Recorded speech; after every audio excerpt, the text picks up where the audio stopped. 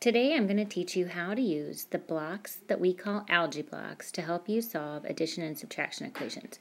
You may have seen these boxes of blocks in Miss McCauley's room or Mrs. Bino's room and wondered what are those for? Or maybe even you've used them in past grades. We're going to use them as a means of solving addition and subtraction equations. They are always available to you in the classroom to help you solve equations. Some of you may find this very, very helpful because it's a very visual way to solve equations. Some of you may not need this, and that's okay too, but I want to be able to show you how to do this um, so that you have a resource to help you with solving equations. Solving equations is one of the most important concepts that you will learn this year in math. Go ahead and go to your next page. You should have this exact packet open in your own GoodNotes so that you can be filling it out. Some of it I will fill out for you and you will write it down. And some I will ask you to pause and fill out yourself, and that's what Mrs. Bino and I will check. The first thing that we're going to do is identify these blocks. You should also have a box of algebra blocks next to you while you complete this lesson. Some of you could also use um, GoodNotes later um, as a means of solving equations with tiles. Some people call them algebra tiles, but we're going to use algebra blocks for this. So I'd like you to have a box of them while you listen to this lesson. The first thing we're going to do is identify these blocks. Okay, we need to get to know each block and what it stands for. Name each block by its dimensions and the area of its largest surface. Notice how the dimensions of the blocks are related to each other. Okay, so here's what we're going to do. We're not actually going to measure each block, but we're going to start with the green square, the little green square. I want you to take a look at it. We are going to say that it has a side length of one centimeter. Same with its width. So length and width are one centimeter. So we are going to write one for length and one times width. We should know that area is always length times width. Area of a square or rectangle, I should say. Okay, so area equals length times width. So that's going to help us. That's a big concept here. When we look at our dimensions, we see that the length the length is 1 and the width is 1. 1 times 1 is simply 1. So our green squares, we are going to call them 1s from now on. Those are our 1s, okay? They represent the digit 1 or the number 1. Now go ahead and get your yellow rectangle out. Okay, your re yellow re rectangle looks to me like a french fry. So I'm going to call it french fry. Okay, it's either french fry or yellow rectangle. You can call it whatever you like, but I remember it as french fry. Okay, actually, I'm going to call, I don't know which is the right way to spell french fry. Sometimes I think it's, no, I think it's definitely the other way. What about you? See, even math teachers have to think about their spelling sometimes. Okay, french fry. Look at the dimensions of french fry. French fry has a width of 1. See the surface area of it? The surface of it is matches the green cube. That's how we know it has a width of 1. The length, we do not know. We're not going to get a ruler out and start to measure it. We're going to just say that we don't know what it is. And remember from one of our previous lessons that when we do not know what a number is, or a quantity is in math, we use a variable to represent that unknown quantity. We're going to call it x. So now look at your area we want to find the area of the french fry, length times width, so x times 1 is simply x. So from now on, french fry will be called x. So we will always use french fry to represent x. Now I'd like you to get out the yellow square. Okay, the yellow square has a length that matches french fry. Okay, its width also matches french fry. So it has a length of x and a width of x. Well, to find the area, we have to do x times x. What is x times x? That would simply be x to the second power, or x squared. So our yellow square will always now be called x squared. Now get out your orange rectangle. This one will be called Cheeto. I like to think of it as a Cheeto because it looks like a Cheeto. Okay, our Cheeto, once again, has a width, if you look at its surface area here at the top, it has a width of one unit, like the green cube. The length, we do not know what it is again. We're not going to measure it. We're just going to say that we don't know it. So we need to call it a variable name. We're going to call it y. So our area is simply 1 times y. I'm not going to use an x because that gets confusing. 1 times y. So that means our area is y. So from now on, Cheeto will be called y. Next is our orange square. This is very similar to the yellow square. It has a length of y and a width of y. When you multiply y times y, you get y squared. So our orange square will always be called y squared. The last piece that we're going to look at is the light orange rectangle. Now, if you were to look at this and compare it to our other pieces that we have, it has a length that exactly matches the french fry, and the width exactly matches the Cheeto. So if we have to times x times y, or french fry times Cheeto, we would get x, y. So our light orange rectangle will now be called xy. Okay, that is all we have to do to label our pieces. These are our algebra blocks. So from now on, if I ever say use X, you would know to pull out a yellow rectangle. Okay, go ahead and go to your next page. Okay, now we're going to learn how to read the blocks. Okay, like blocks can be grouped to represent greater numbers or expressions. Okay, that just means that we could take four of the same thing and call it four of that thing. So let's look at that. So if we look at this, what we have here is our x squared, okay? That is our yellow square. Okay, I'm going to write that up here. These are yellow squares. So you should get out four yellow squares right now to match what we have. Okay, each one represents x squared. If we count then the number of blocks that we have, we have one, two, three, four. We would read the number or expression, 4 of x squared. We can write that down as simply 4x squared. That's what four yellow squares would represent. So you try it. Let's come down here and pull out five orange rectangles, or Cheetos. Okay, what name will you use to name each rectangle? Okay, we have already decided that every single orange rectangle is going to be called y. Okay, if we have five of the y's, what would we call it? Okay, look at the previous example. If we have five y's, hopefully you would say that our expression would read 5y. That's what five orange blocks would look like. Let's practice. Here's what I want you to do in the next activity. Use Algeblocks to make your own expressions. Take a handful of like blocks and write the expression represented. Be sure all the blocks in a handful are the same. Okay, so let's do an example together. Let me pull this up a bit. Okay, so we're going to pull a, a handful. Okay, let's just say, I actually, I'll write down um, different group of blocks for the first one and you can write down the expression. And then for the for the for numbers 4, 5 and 6, you can grab your own handful of like blocks and write an expression. So in the first one, I'm going to grab 3 yellow squares. Okay, if I went back and looked up what a yellow square is, yellow squares yellow squares are known as x squared, right? We know that from up above. If I have three of them, my expression would be 3x squared. Okay, so what I would like you to do in the next set of examples, and this is what I would like you to show us, is I would like you to grab a handful of green squares for number four, grab a handful of orange rectangles for number five, and a handful of light orange rectangles for number six. This you will show us. Show us. Okay, so we would like you to show those to us after the lesson. And then you can go ahead and go to the next page.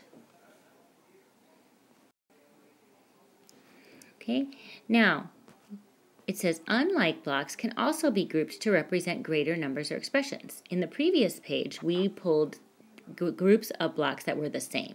In this case, let's take an example. Here we have an example of an x right here. This is x, and this is 1. Okay, this is x, and this is 1. These are all ones. Okay, so sort the blocks into groups. Okay, so we're going to put the x's together and the ones together. Count the number in each group. Here we would have two x's and we have four ones.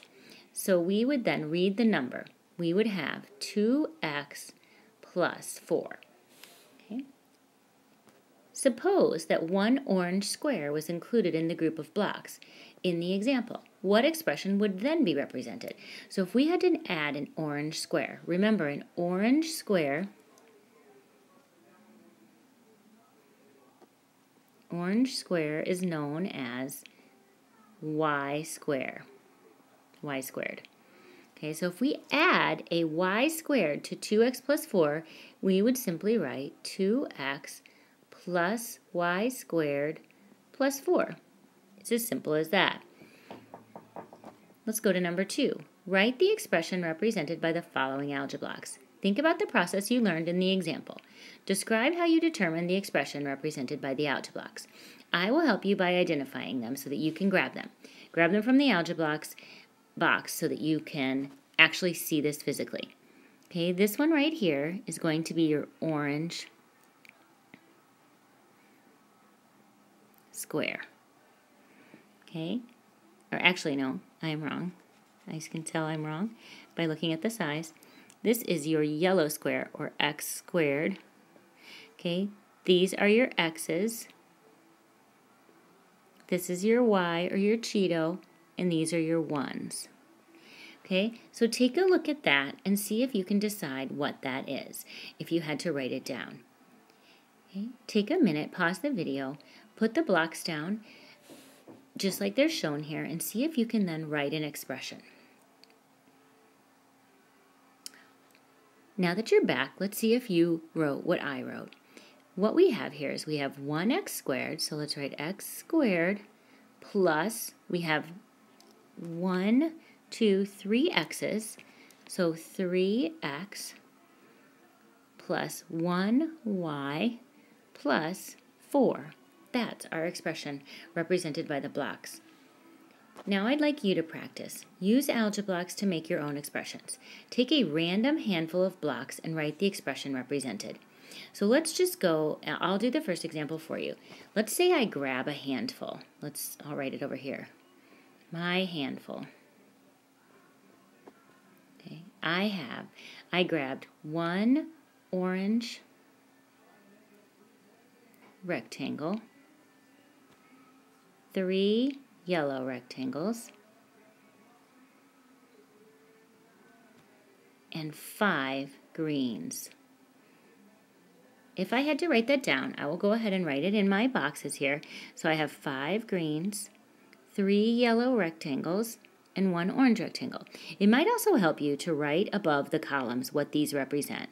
Green square represents 1, yellow rectangle is x, yellow square is x squared, Orange rectangle is y, orange square is y squared, and light orange rectangle is xy. Then simply count the number that you have in each column and write it over here. So my first one would be 5 plus 3x plus y. Okay, I would like you to do the next three and then show us when you're done. When you've finished, then you may go to the next slide. Okay, the next part of this lab, or inquiry lab, is to take our algebra blocks and model numerical and variable algebraic expressions. So identify the correct block for each part of the expression. Model the expression, and then read it, record it. So for example, up here we have x squared, xy, and a 1.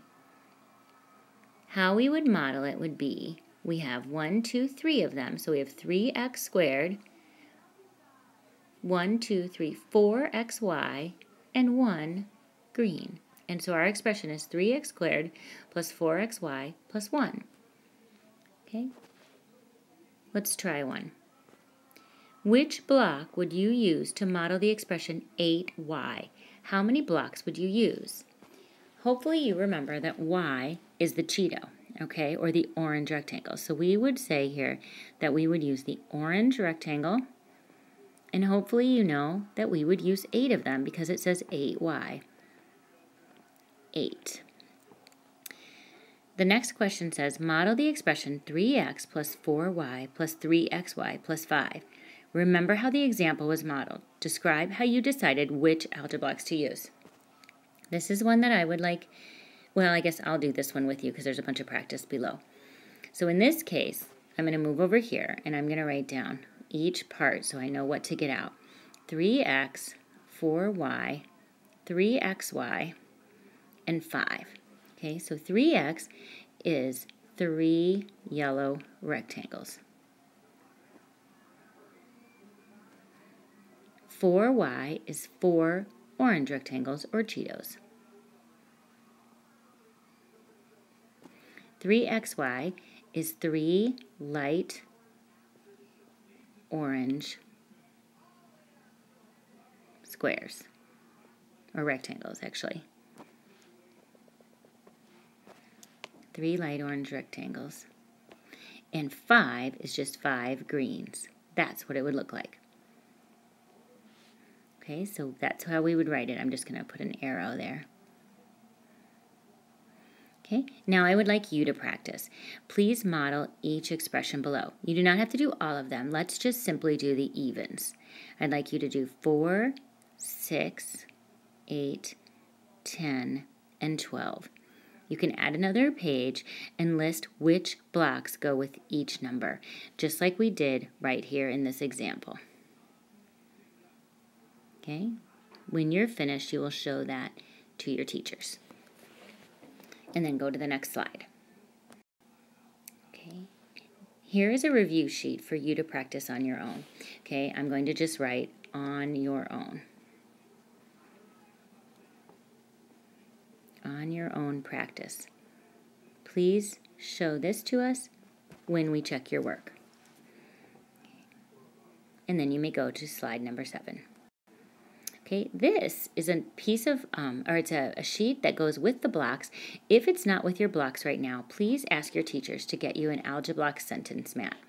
Hopefully you can see this sort of looks like a scale. It looks like a balance scale. And I'm actually going to write up here that it looks like a scale because we want to remember that these sides must balance or be equal. Okay, when we see an equal sign, that means that we are talking about equations. Okay, You'll also notice positives and negatives. Okay? You will put all negative numbers where it says negative. Okay? All positives go in the positive section. Okay? These are important concepts to remember. So if I were to put a green square down here, that would mean that it was negative. Okay? So for example, if I were to write if I made a little square. Let's see if I can switch to a green. Oh, good. Okay. So if I put a green square down here,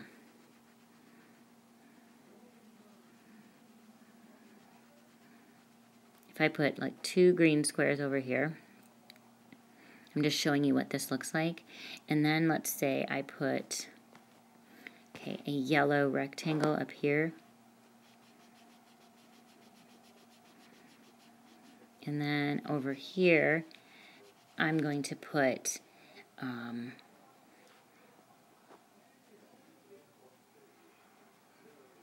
four over here. My actual equation would look like this. It would be x, because there's an x there, my, plus a negative 2, or simply minus 2, right? Because adding sand is the same as taking away gas. x plus a negative 2 equals positive 4. That's my actual expression that I have modeled here. We will come back to this scale and you will use it often. Go ahead to your next page. Okay. All right. An equation is a little like a balance scale, just like what I just said. The two sides of an equation must equal the same number. The scale on the sentences mat shows this equality. For example, model the equation x minus 3 equals negative 2 plus 7 on the sentence mat. I want you to have one of the mats out right now so that you can do this. The left side of the equation matches the left side of the mat. So for example, x minus 3 goes on the left, and negative 2 plus 7 will go on the right. Okay, it actually shows it over here for you. Okay, so you can see this is x right here. This is your minus 3. This over here is negative 2, and this is positive 7. Okay, so which algebra blocks are used in step 1? In step 1, we modeled the left side, and on this we used an X, and we used three greens. What do the two sections on the sentence, two sections of the sentence match show? One side shows x minus 3, and the other side shows negative 2 plus 7. The drawing in step 2 can be simplified by removing some zero pairs. Do you remember what zero pairs are from Unit 3? Zero pairs are a positive and a negative of the same quantity that will added together equal zero. So for example, if you have a mat, and I'm going to just draw it over here, okay, and you have your positive and your negative, if you have a green square here and a green square here, they cancel each other out because they are positive 1 and negative 1, which makes 0. So for example, let's go over to this model and cross off. We have two negatives here, so we can take them off of both sides. So we are left with 5 after we take them off. Okay, so we then have, so what we would have now is x minus 3 equals 5 because we took away 2 from both sides on that um, on the right side. Okay, let's go ahead and look down a little bit at number 4 and use algebra blocks to make each model. Then write the equation shown. So let's look at these models right here, and you can model them the same on your map. This right here looks to be an x, and this is 2. Okay, this is a negative 3.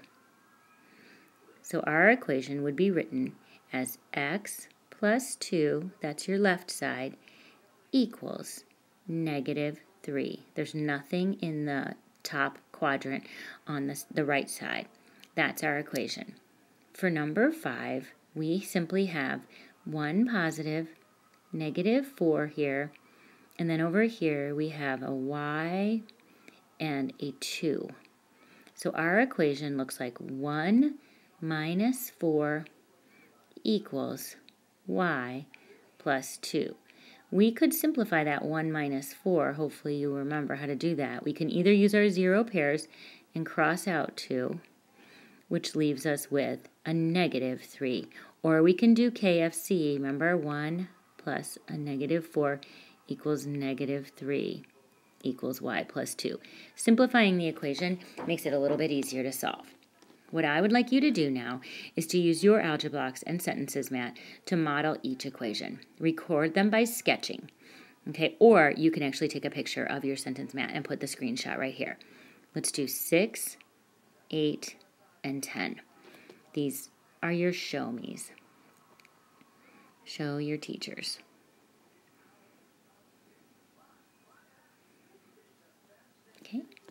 Go ahead and go to your next slide when you have finished that activity. Okay, now we're going to get to the good stuff. We're actually going to solve equations. Okay, we are going to use your algebra blocks and the sentences mat to solve equations. The goal is to get the block for the variable all by itself on one side of the mat. So solve y minus 2 equals negative 5. The first step is to model the equation. So you can see that we did that by this. This is y minus 2, and this is your negative 5. Okay. The left side of the mat always matches the left side of the equation. The right side of the mat matches the right side of the equation. Okay. Then we solve. The way we solve is we want to get y all by itself. We want to get rid of this negative 2. Okay, in order to get rid of negative 2, we need to make zero pairs. Okay, in order to make a zero pair with a negative 2, we need to, I'm going to write this on the side here, we want to make zero pairs. That's our additive inverse again. Make zero pairs to get the variable alone.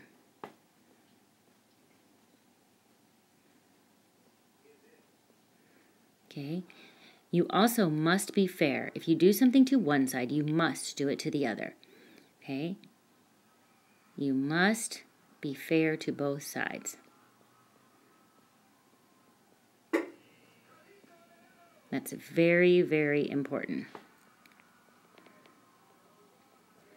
Okay, so if we add 2 to this side, we must add 2 to this side. So then we would take these off because they cross themselves off, and then we can cross off these because they cross themselves off, and we end up with y equals a negative 3 because we got rid of all of the zero pairs. Okay. Now, try this one. Model and solve the equation 5 equals x minus 3. Before you begin, think about your goal. What will the right side of the sentences mat look like when you're done? Let's try this together. I'll draw a mini mat right here. Okay, so we have 5 is our first side. I'm going to have three, four, five green cubes on the left side equals. We have x, that's going to be our x block right here. Okay, x minus 3, so we have 3 negatives. Okay, we need to get x all by himself. That means we need to get rid of these three negatives. If we have a negative 3, you should know that we need to add 3 to this side to get rid of it. Then we can cross it out and they are gone because of the property, the inverse property or the additive inverse whatever we do to one side, we must do to the other. So let's go ahead and add 3 to this side. Now we are left with x equals 8. Okay, and the other thing that you can always do to make sure that your answer is right, take your 8, plug it in for x, substitute, remember? Substitute it in and see if that is correct. 8 minus 3 does in fact equal 5, so that is the correct answer. Okay, I want you to please solve the equations below in the practice section. Record your steps to complete the chart. What you are adding to each side is to make your zero pairs. Okay, and basically what number you add is the same as the number of zero pairs to be removed. So let's try the first one together y minus 3 equals 6. So what we're going to add to each side is plus 3 because we want to get 3 off alone. So then we would be taking off three zero pairs. So y is going to equal 9. Okay, I would like you to do number 4 and number 6 and then show. Okay, and we have one more slide to go. You guys are doing a great job, and trust me when I say that this will really help you. The last step is to now use subtraction to solve equations. We used addition in the last examples. Now we're going to use subtraction. So sometimes you need to subtract from both sides of an equation to get the variable alone. Solve this equation. x plus 3 equals negative 1. The first thing you're going to do is model it with an x right here here's your 3, and then your negative 1. In order to solve, you need to get x alone. In order to do that, you need to make zero pairs. So we have to add a negative 3 to both sides.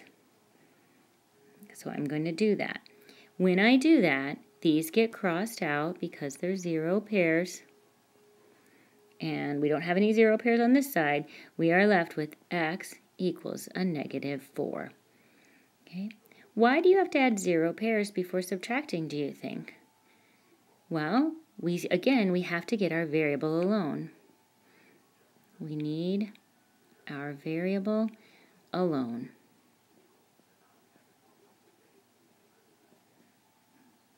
Where do you put the unit blocks when you add the zero pairs to the mat?